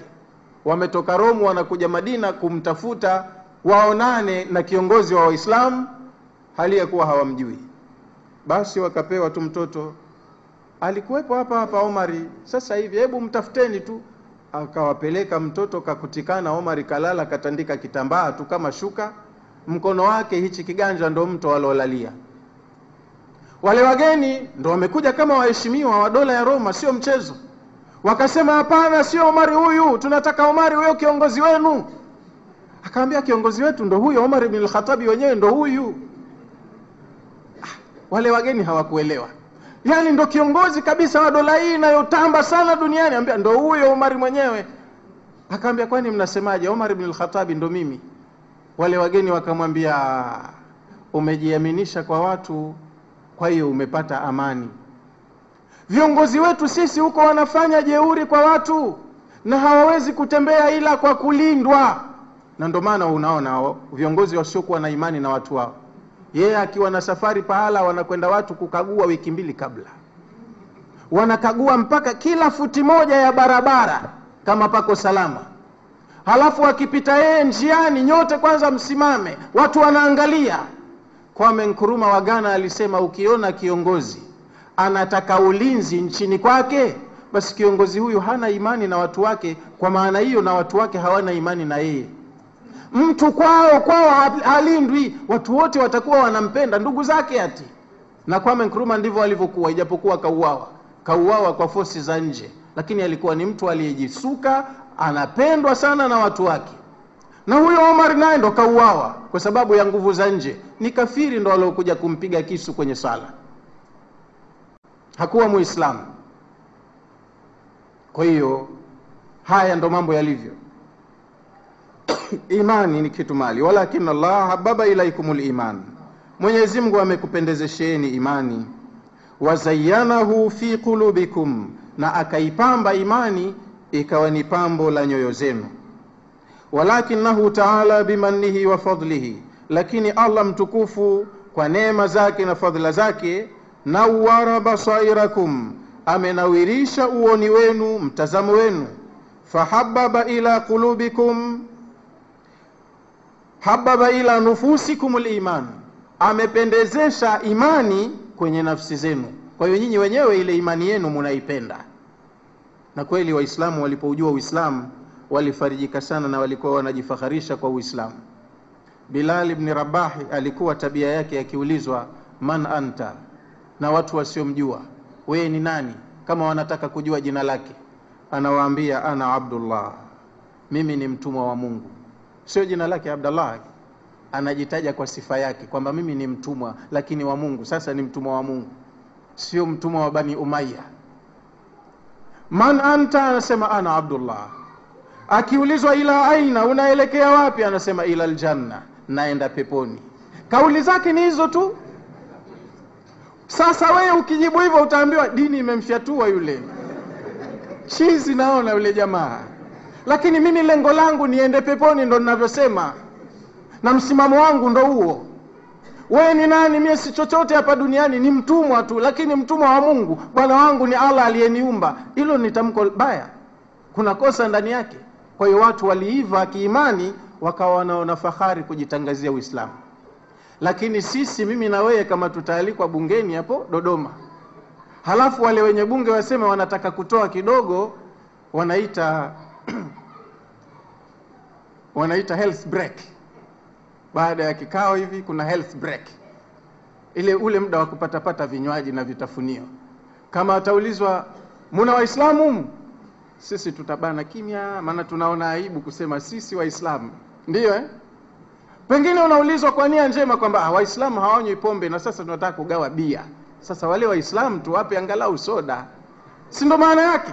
lakini mwingine hasemi anaona aibu sasa hata akipigwa chupa bia hawezi kuikataa atajulikana inabidi asema dharura mungu atasaidia lakini hawa watu walipendekezeshwa imani wakawa wanajifaharisha kwa imani yao ile kuwa wao waislamu wanaona fahari sasa imani imekufa mtu hapendi kabisa yeye kunasibishwa na waislamu kwa sababu ya matusi Uislamu unaambiwa ni dini ya vurugu, dini ya watu maskini, dini ya watu wasiokuwa na mitazamo, dini ya watu wasio na elimu. Alimradi kila tusi linatukanwa kwenye Uislamu, lakini watu hawa waliopata imani wao kwao ilikuwa kujinasibu kwa imani zao ndio fahari yao. Wazayanahu fi qulubikum, na Allah akaipamba hii imani kwenye nyoyo zenu. Ai hasanahu fi qulubikum, Allah akafanya nyoyo zenu zijisikie uzuri kwa kule kuwa na imani ya tauhidi. Kwa hiyo uzuri wa nafsi ya mtu mumin ni kule kujisikia kuwa yeye ni mumin. Hata asbaha, mpaka ikawa baada ya kupambiwa imani kwenye nyoyo zenu, ala indakum, hii imani iko juu zaidi mbele yenu, min kulli shai, kuliko kila kitu. Allah akafanya hivyo mpaka ikawa imani iko juu zaidi kwenu kuliko kila kitu na mtume sallallahu alaihi wasallam alisema thalathu man kunna fihi wajada halawata liman yako mambo matatu mtu yoyote ambaye yatakuwa yamo ndani ya tabia yake mambo haya matatu atapata ladha ya iman kama ha, mtu hajisikii kuwa yeye ni mumin haoni fahari kuwa mumin ajilazimishe afanye mazoezi ya kutosha mpaka hizo tabia tatu awe anazo thalathun, mambo matatu. Man kunna fihi, mtu ambaye yamo katika tabia yake mambo haya matatu, wajada halawata liman, atapata au hupata ladha ya iman La kwanza kabisa ambalo mtu anajifakharishia hilo, an yakuna llaha wa rasulahu ahaba ilaihi mima siwahuma, mtu awe anajisikia kwamba Mwenyezi Mungu na mtume wake ndio wanaopendeza zaidi kwake yeye kuliko wengine wote waliokuwa sio hao. Sasa mwingine anampendeza zaidi rais wake, mwingine anapendeza zaidi mke wake, mwingine anapendeza zaidi mumewe, mwingine kinachopendeza zaidi pesa zake, yani anajifeel proud kwa pesa alizonazo. Lakini mtu ambaye ana ladha ya imani ni Mungu na mtume wake, ndio top wanaopendeza zaidi kuliko kila kitu anaweza akapoteza mali yake akaivuruga mali yake kwa kuitumia kwa ajili ya Mungu au kumridhisha mtume anaweza akawa ni kukosana na mke wake kwa ajili ya kutaka radhi ya Mungu na mtume. Maana mambo mengine yana mifano iliyo hai. Hivyo mmoja wetu katika sisi hasa awe mtu wa dawa, kapewa majukumu na wenzake ya kufuatilia kazi za dini, kama ni kusomesha darsa au nini, halafu kapangiwa programu, ukimaliza hili fanya hili, ukimaliza hili fanya hili, na ana majukumu yake ya kutafuta maisha. Wakati wa kukaa nyumbani kwake unakuwa finyo, akirudi nyumbani ugomvi wenyewe nyumbani huko. Yaani wewe ukija hapa nyumbani kama chooni vile, chwana kutoka, mtu hana raha ya kuongea na mumewe, mtu hivi na hivi. Hamjapata ku vitu kama hivyo? Hamjajipa shughuli nyingi, maana nyinyi mara nyingi mko nyumbani lakini kama utakuwa unataka salama ya nyumbani basi na maana mambo mengine yote uyafilishe uridhishe sana nyumbani na kazi ya kuridhisha nyumbani ngumu ngumu kweli sasa kwa mfano huo na mambo mengine yote ndo hivyo hivyo kama utapenda mali mke wazee viongozi wa nchi na mambo mengine ya mungu kwanza itabidi uyaakhirishe lakini watu walioamini la mungu na mtume wake linawekwa mbele kwa gharama yoyote sasa wewe fanya la Mungu na mtume wake, ukirudi nyumbani ustahamili tena yale matusi ya wenyewe, usipigane basi, stahamili tu, sawa, nimekosea, nisamehe mke wangu, lakini la Mungu lishafanyika. Kwa hiyo analokuwa na fahari nalo mtu mumin, la kwanza linalomfanya ajisikie an yakuna Allah wa rasulahu ahaba ilaihi, awe Mungu na mtume wake ndo wanaopendeza zaidi kwake, mima siwahuma, kuliko wengineo wasiokuwa hao wawili. La pili, hubu mriin, awe na tabia ya kumpenda mtu la yuhibuhu illa lillahi, hakuna analompendea ila anampendea dini ya Mwenyezi Mungu. Yani anampenda yule mtu kwa uchamungu wake, jinsi alivyokuwa active katika kufuatilia mambo ya dini, mtekelezaji mzuri wa ibada, umuhusudu na umpende kwa sababu ya Mwenyezi Mungu, basi unafarijika sana ukipata rafiki kama huyo. Lakini rafiki mwingine akikwambia ah, tujimwage viwanja kidogo huyu si rafiki ambaye utapata ladha ya imani. Wakati mwingine adhana inasomwa, lakini huyu bwana akakupa jambo la kukushughulisha, anakuambia tutaswali baadaye, bwana, muda si umo, lakini mwenyewe ushajipangia, mi nataka niwahi takbiratul ula, anakwambia ah, acha hiyo noma, mshikaji wangu, twende kwanza kwenye dili. Hasa hapo utakuwa hupati ladha ya imani. Lakini kama unataka ladha ya imani, umpende mtu na lisiwepo la kumpendea, ila umpende kwa ajili ya dini ya Mwenyezi Mungu utaona ladha ya imani, utaona jinsi ulivyo. Na la tatu, an yakraha an yauda ila lkufri min baadi an ankadhahu llahu minhu, atapata mtu ladha ya imani ikiwa atachukia kurudi tena kwenye mambo ya ukafiri baada ya kwamba Mwenyezi Mungu kashamwokoa na yale mambo ya ukafiri, achukie kurudi tena kule. Kama itakuwa tabia yake ni kuchukia mambo ya ukafiri, wakati alikuweko huko na keshatoka, basi atapata ladha ya imani. Kama yakrahu an yukdhafa fi nnari, achukie kurudi kwenye ukafiri na matendo ya ukafiri kama anavyochukia kutupwa katika moto. Maana moto unatisha, mtu anaogopa. Kama anaona waya wa umeme hapa kwenye plagi uko nje nje, hauna nguo, basi anawatahadharisha wenzake, hey, bwana hey, angalia kuna moto hapa, wakati waya wenyewe huu una 240 volts au 220 volts, volti mia mbili na ishirini hizo za kupigia redio pasi. Kumbe Mungu anao hewani tu hapo zaidi ya 3 million volts, ule unawaka wapi? Moto mwingi shekhe ule, msiogope. ala anao moto mwingi hapo angani. Hapa tungekuwa Zanzibar tungesema FFU tayari washatanda msikitini, lakini huku hamna mambo hayo, nashukuru Kwa hiyo haya ni mambo ambayo mtu anatakiwa awe nayo ili apate ladha ya imani yake. Kwa leo, kutokana na muda wetu kusonga sana, inshallah tutaishia hapa. Tutakuja kumaliza hii aya darasa ijayo na kuendelea na zinazofuata biidhnillahi taala. Bismillahi rahmani rahim. Waalamu anna fikum rasulallah, eleweni kwamba miongoni mwenu yupo mjumbe wa mwenye